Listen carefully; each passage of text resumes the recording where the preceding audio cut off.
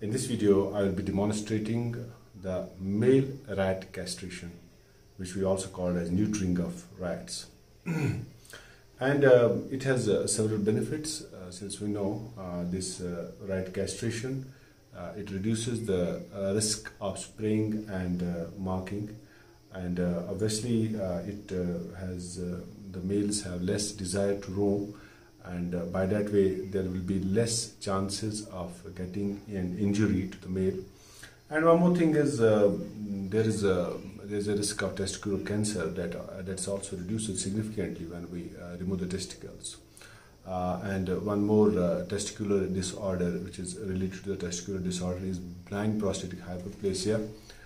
Those rats which are being castrated have less chances of getting benign prostatic hyperplasia and uh, this video is a part of our research work uh, that is, uh, we are working on uh, effect of several drugs on benign prostatic hyperplasia in rats and uh, this is uh, going to be the part of this our research work.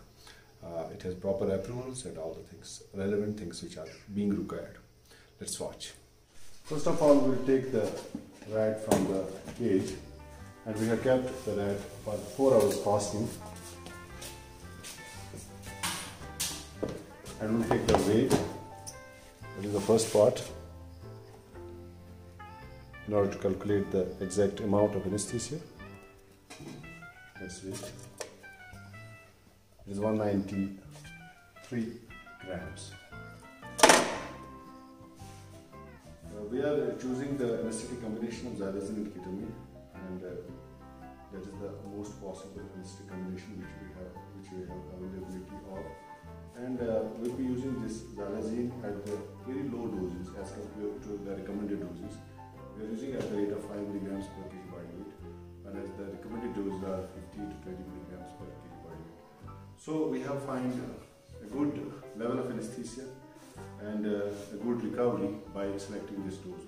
Probably there may be some variation in different breeds of uh, rats, but for the Wistar rats, this uh, dosing, this dosing, or this dosage of anesthesia absolutely taking well.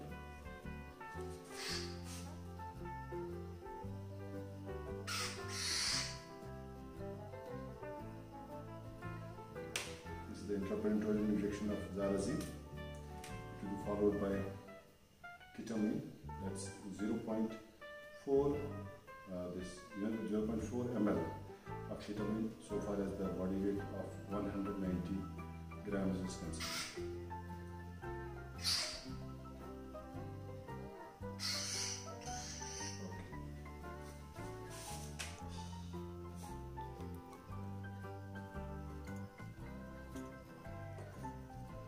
We have achieved the anesthetic effect.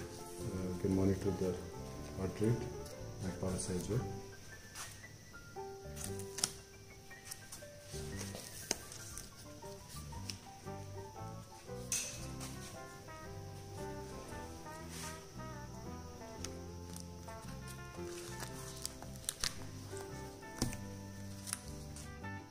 It takes some 5 minutes to get the effect of anesthesia.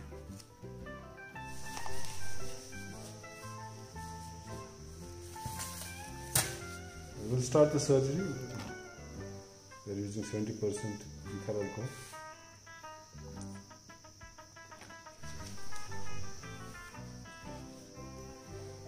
We'll start with the midline incision of scrotum.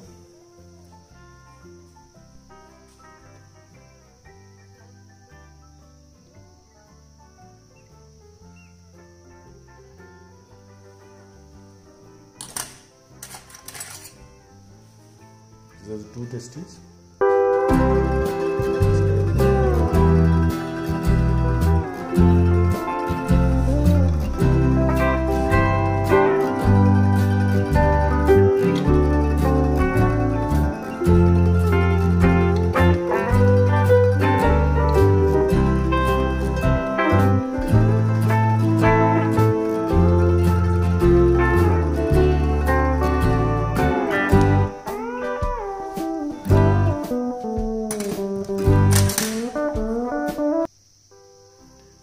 Detach the skin of the scrotum.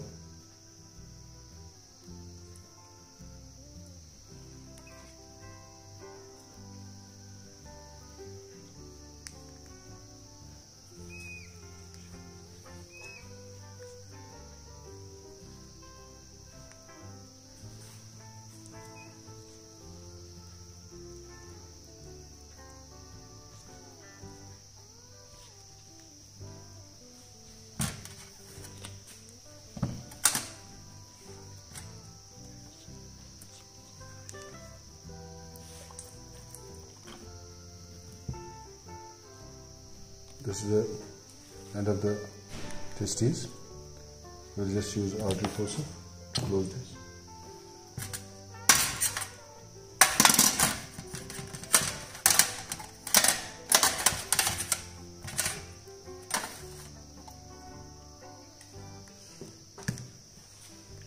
We'll be using this suture that is uh, catgut 40 or 30 that is desirable.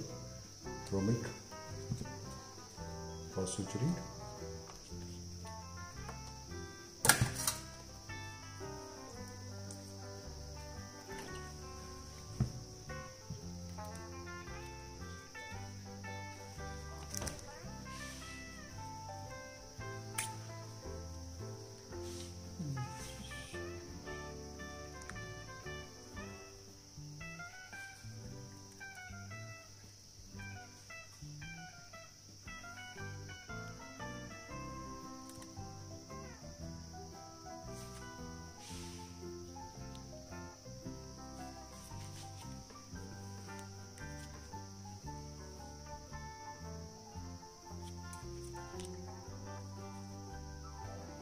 we should ensure double knotting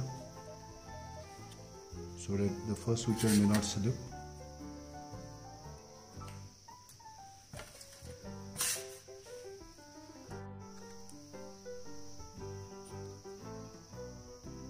Okay. That is intact.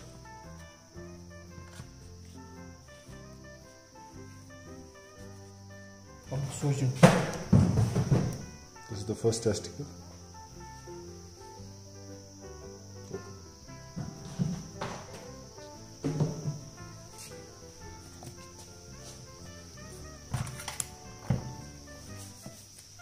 To ensure the sutures have been placed well in the position and there is no bleeding. Uh, we'll be looking for the another one, uh, another testicle.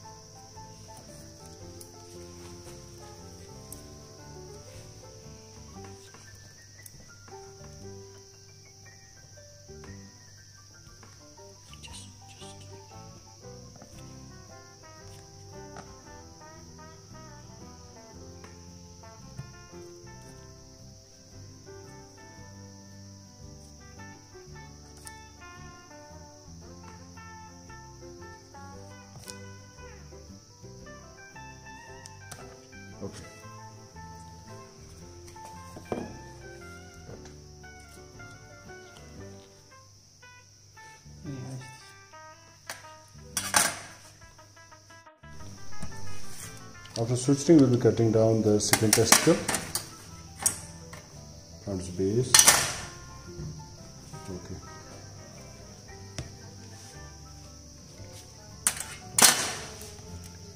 So this way we have completed the uh, removal of both the testicles. We are supposed to suture the the scrotum by non-absorbable sutures. We'll clean the wound by using normal saline.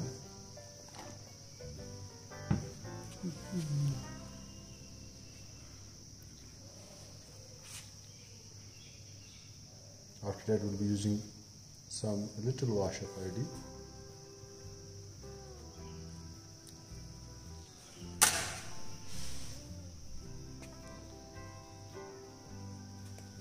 Using the skin sutures, maybe one, two, or three, depending upon the incision size.